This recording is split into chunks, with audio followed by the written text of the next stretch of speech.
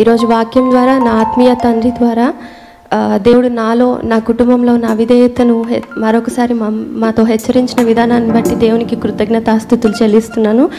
ఇలా నాలా నా కుటుంబంలో ఎవరైతే ఆయన వాక్యం ద్వారా హెచ్చరించబడ్డారో ఆ ప్రతి హృదయం నాతో కలిసి ఈ పాట పాడాల్సిందిగా మనవి చేస్తున్నాను. విధేయతకి అర్థము చెప్పిన వినయ మనస్కుడా అనే పాట పాడుతూ చప్పట్లు కొడుతూ దేవుని నామని మహింపరుద్దాం.